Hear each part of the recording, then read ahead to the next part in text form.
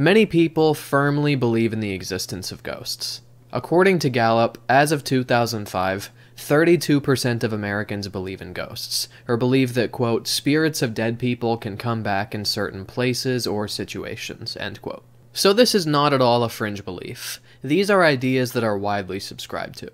Whether they're convinced by stories, photographs, or videos of purported ghosts, or whether they've had ghostly encounters of their own, I'm going to argue here that this particular paranormal belief is unjustified, because the evidence provided is unconvincing, and ample alternative explanations exist. I'm also going to take a look at some ghost stories to see if they're impressive enough to warrant belief, and finally, I'll point out the flaws and arguments made in defense of this position by people who believe in the existence of ghosts. We're going to start out with what seems like everybody's favorite reason to believe in ghosts some sort of spooky encounter they've had with what they believe to be otherworldly spirits. According to Pew Research, as of 2009, quote, almost one in five Americans say they have seen or been in the presence of ghosts, end quote. And this is not a surprising statistic when you consider how many people have a story that they're eager to tell when the topic comes up. Now, I obviously can't say for certain that all of these stories are inaccurate for one reason or another, because I wasn't there, so what do I know? But what I can do is present a number of alternative explanations and reasons that we should doubt that these accounts are convincing evidence. One such reason is that people can simply lie. There's no law of the universe that forces everybody to tell accurate stories. Maybe they're lying because they think it's funny, maybe they're a sociopath who gets off on deceiving people, or maybe they're doing it for attention or financial gain. Another possibility is that people have unintentionally exaggerated the details of the story. There's actually been research done which shows that the longer the period of time since an unusual event occurred, the more exaggerated and inaccurate will be our recounting of this event. The particular research that I'm referencing examined accounts of the Indian rope trick. As Wiseman and Lamont write in their 1996 Nature publication, quote, we hypothesize that if eyewitnesses were exaggerating their accounts of the Indian rope trick over time, one might expect a positive correlation between the impressiveness of the account and the length of time between performance and report. And here we see a scatter plot which confirms their hypothesis, plainly showing that the longer the period of time since they witnessed the trick, the more extraordinary and impressive their account of it. As Wiseman and Lamont conclude, quote, this analysis strongly suggests that witnesses' testimony had become significantly more elaborate over time, end quote. I would imagine that the same trend could take place with ghost stories, and it's no surprise considering the fallibility of human memory, although it is interesting that the fidelity of the story consistently degenerates in the direction of making it seem more impressive. We could speculate about why this would be the case, but it's important to note that nothing about this seems to indicate deliberate deception by the people telling the story. Instead, it seems that this is just the way that our memories get distorted over time, through no fault of our own. So, if I tell a person that I doubt their ghost story is completely accurate, and they say, Oh, you calling me a liar? The answer doesn't necessarily have to be a yes. Your memory of the event could simply have become exaggerated over time. Not only that, but even if the events as they describe them took place exactly as they claim, the person could simply be mistaken about what explains the events. What one person interprets as a ghostly encounter might be viewed by another as perfectly explicable, without invoking the supernatural. To see this principle in action, let's take a look at a ghost story that somebody once presented me with. When she was much younger, her and her friend had snuck out of their parents' homes at night in order to just sort of roam around in aimless, youthful rebellion. As they were crossing this bridge, they saw a man who was sitting near the edge while fishing. When they looked back after crossing the bridge, he was nowhere to be seen. Therefore, he was a ghost, she concluded.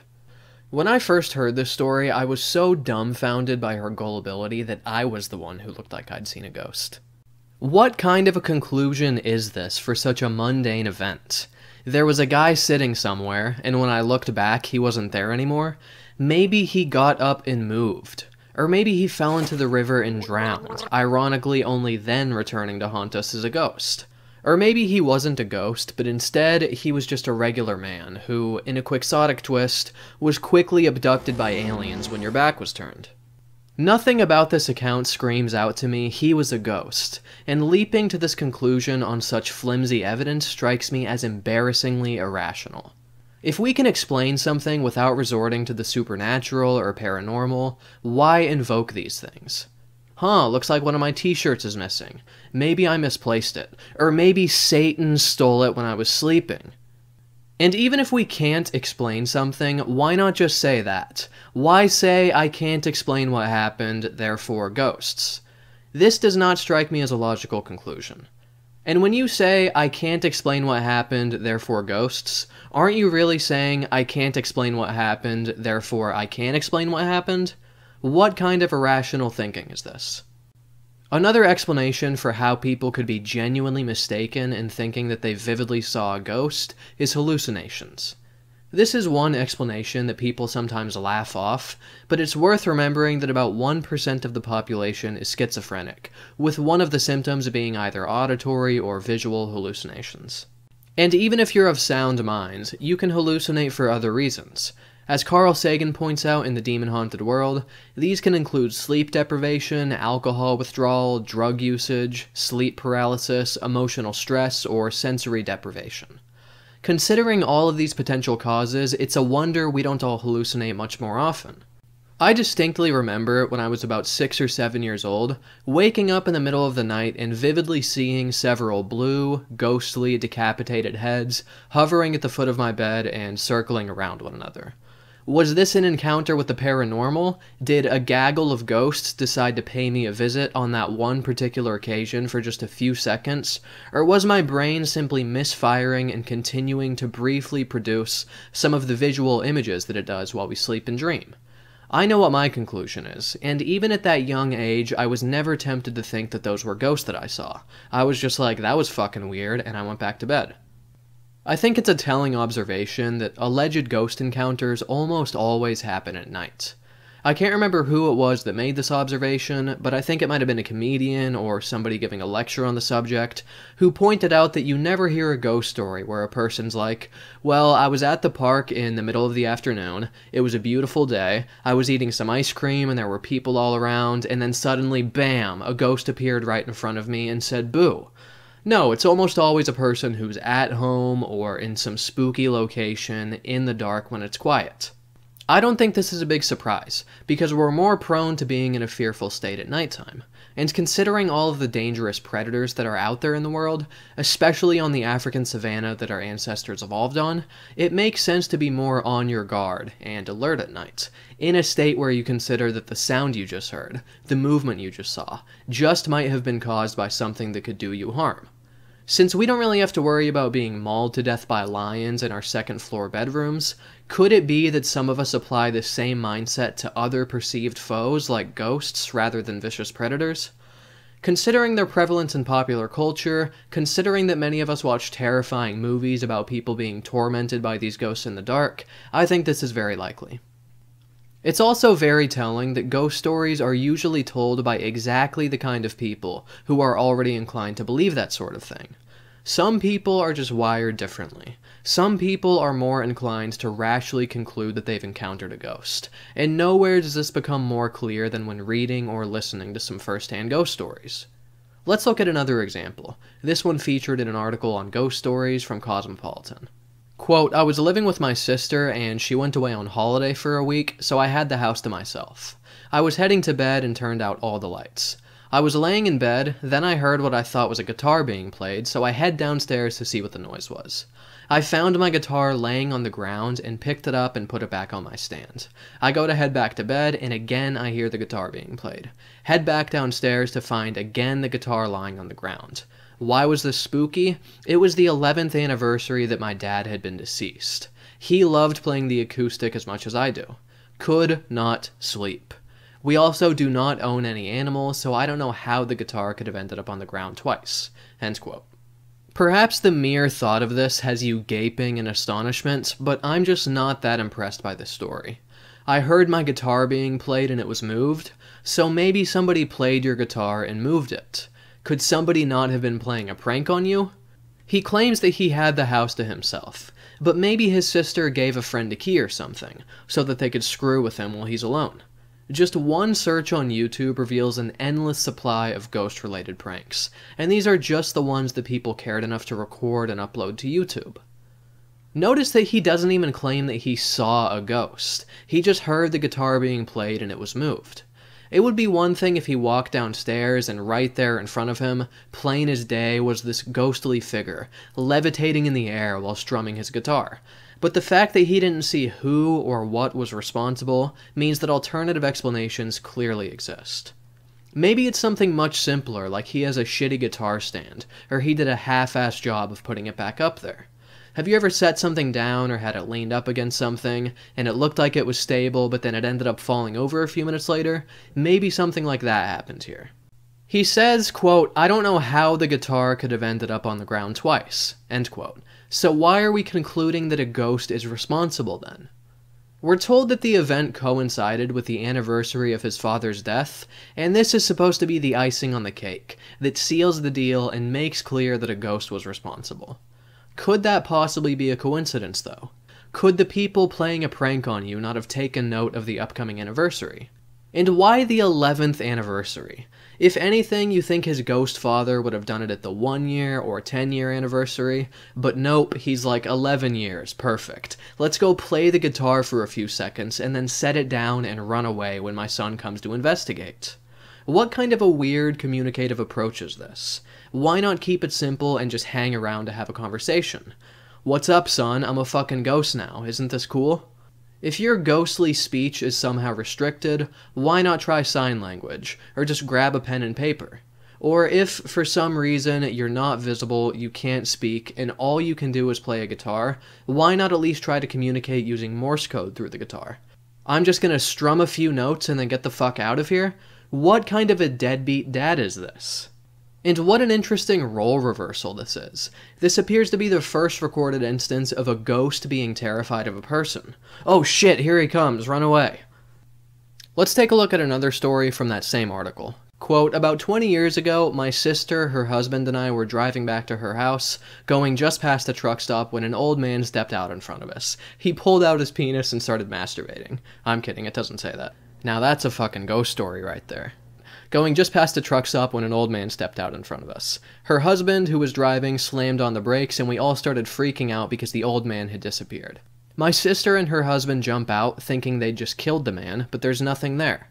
Cop comes along and a few truckers wander over and tell us that it's an almost weekly occurrence. Apparently, there had been an old man who'd lived and later died in the house across the road who used to go over to check his chickens every night before bed. End quote.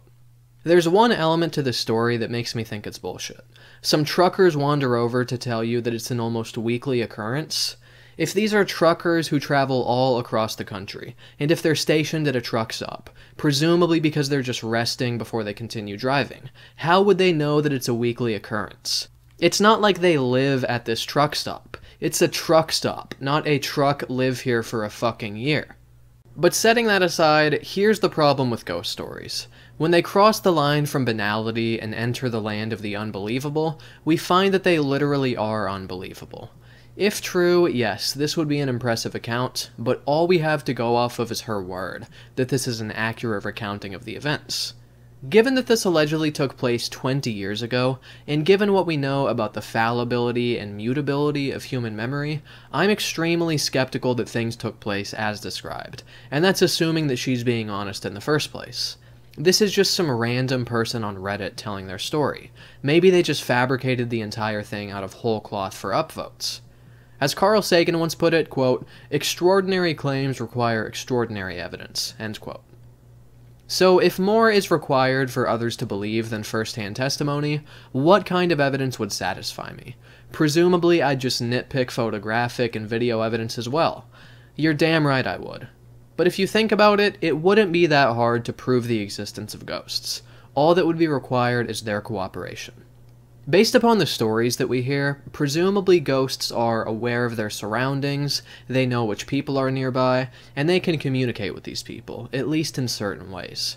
So why not hover on down to the nearest scientific laboratory, reveal yourself, and willingly subject yourself to all kinds of scientific testing and scrutiny? Why not have just a small handful of ghosts permanently stationed at a location like this, so that anybody who is skeptical can travel on down there and have their doubts eliminated? Wouldn't there be some ghosts who are frustrated at the idea that people like me deny their existence? Wouldn't it take just one of them to prove me and all other skeptics wrong? If they can pop in front of cars on the highway, why not pop in front of the car of a scientist and say, What's up, bitch? I'm a ghost. Why do ghosts apparently never hang around? Why is it such a recurring theme that the ghost pops up out of nowhere and then vanishes almost immediately?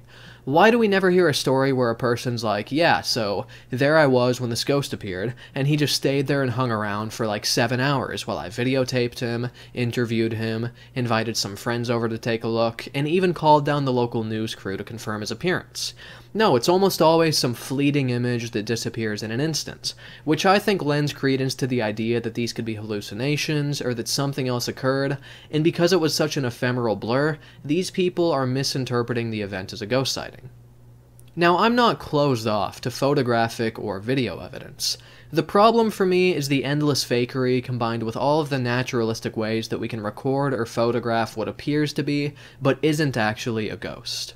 When it comes to outright fakery, we know that people have admitted to doing this or been exposed as doing this for reasons that can include fun or financial gain. There are all kinds of different ways that people can fake a picture or video of a ghost, and these include programs like Photoshop or imaging techniques like double exposures. And even when there's no fakery involved, oftentimes there's some sort of mistake or aberration with the photography or video recording that makes it look like a ghost has been recorded, when really there's a much more prosaic explanation. Sometimes there's a complicated error with the recording software, sometimes there's a lens flare or reflection, or sometimes there's simply an insect or piece of dust or pollen on or near the lens of the camera. Now, this doesn't mean that every photo or video of a ghost is inauthentic. Just because some are doesn't mean that all are. It could very well be the case that genuine photos and videos of ghosts exist. But to my knowledge, no genuine footage has been presented which is so utterly clear and convincing that the only possible explanation is a ghost. I also see no sound theoretical basis to believe that ghosts exist, and that's because I see no reason to believe in an afterlife. We have a pretty solid understanding of what regions of the brain are responsible for which aspects of cognition, and damage to these brain regions produces the expected cognitive defects. So it seems to follow from this that if the entire brain dies, then our cognition will die with it, and thus there's no reason to believe that our consciousness or personalities will survive the deaths of our brain and travel the earth as some sort of amorphous being. With all of that said, I am not fundamentally closed off to the idea that ghosts could exist. If ghosts could be subjected to scientific scrutiny, if we could discover where certain ghosts hang their hats, and we could reliably send independent teams of researchers to study them and confirm their existence, almost as if we're studying a newly discovered organism, I would be open to changing my mind. And when I say teams of researchers, I don't mean con men filming a TV show and engaging in endless fraudulence in order to capture something exciting. I don't mean groups of people who are already devout believers in ghosts, who interpret every trivial sound or event as caused by ghosts. I don't mean charlatan mediums who come in and just make bald, unsupported assertions, like, I can feel his presence. I mean actual, objective scientists conducting actual scientific inquiries. Something else worth noting about ghost stories is the extremely varied nature of their appearance. In some cases, it's just a spooky mist. Other times, it's a vaguely human like silhouette. Then in other cases, you see the apparition vividly, with a face, a torso, limbs, and so forth. Why would there be such variation and inconsistency in the appearance of these ghosts? Sometimes the ghosts don't even appear, you just hear a spooky sound, or perhaps an object of yours gets moved. I think the starkly divergent nature of these ghost sightings supports the idea that many different things could explain these sightings, and that the word ghost is used as an umbrella term, as a catch all label that we apply to our ignorance. Whoa, what was that diffuse amorphous thing I saw? It must have been a ghost. What was that sound? It must have been a ghost. What did I just see appear before my eyes and then vanish? It must have been a ghost. Considering that in almost all cases it could have been something else, concluding that it must have been a ghost seems unjustified. Now, with that said, perhaps some people truly have seen ghosts. maybe their experience can't be explained by anything that I've proposed hallucinations, mistaking one thing for another, or having your memory distorted over time. You might be utterly convinced by your experience, but how am I expected to be equally convinced by an experience that I didn't have? I wasn't there. I didn't see what you saw. I can't confirm whether you're telling the truth or not. It might be good enough for you, but when we're talking about something as outlandish as ghosts, it's not reasonable to use first hand accounts as third party evidence, and it's not reasonable to expect us to adopt this belief on the basis of your say so. Let's finish up by taking a look at some arguments made in an article entitled 10 Most Compelling Pieces of Evidence That Prove Ghosts Are Real. Prepare to be amazed, ladies and gentlemen not by the quality of the evidence, but by how credulous and irrational these authors are. As they write, quote, we may not have concrete evidence for the existence of the supernatural, but they have no evidence to the contrary either. End quote. What a silly point to make. It's not up to us to disprove the supernatural. Since you're the one that believes these things and is telling us that these things are true, it is your responsibility to provide convincing evidence. And I'm not saying that I'm absolutely certain that the supernatural does not exist. My claim is that there's no good reason to believe that it does, and the supernatural is certainly not necessary to explain the world around us. But if you come to me and say that ghosts exist, it's not my job to disprove this claim. You're the one presenting the claim, and thus you should be the one presenting the evidence. A person can reasonably say that the evidence presented is not convincing enough to justify belief in a thing, without having to disprove the existence of that thing. Oh, you don't think Bigfoot exists? Well, can you disprove his existence? Can you prove to me that Santa Claus does not exist? Can you prove that I was not abducted by aliens? The person asking these kinds of questions has the burden of proof completely backwards. They go on to write the following quote, while these paranormal researchers have yet to reach definitive conclusions from their studies, they are getting ever closer, and they couldn't keep looking if they weren't onto something, right? End quote. Actually, wrong. They could, in fact, keep looking if there was nothing to this belief. You could make the same argument about any ridiculous claim. Would these flat earth believers keep looking for evidence if they weren't onto something? What about these alien abduction researchers, these theologians, or these Loch Ness monster enthusiasts? The fact that certain people are investigating something doesn't mean that that thing therefore must exist. If detectives are investigating whether I strangled the author of some foolish article out of sheer frustration, that doesn't automatically make me guilty. And really, paranormal researchers are getting ever closer? By what metric? What breakthroughs have been made in the field of paranormal research lately? They sure as hell don't reference any in the article, but perhaps that's because there's such an overwhelming flood of evidence that they just didn't even know where to begin. Can I learn about these groundbreaking findings from reputable scientific journals, or must all of these be presented to us in the form of heavily edited reality TV shows, with suspenseful music playing in the background?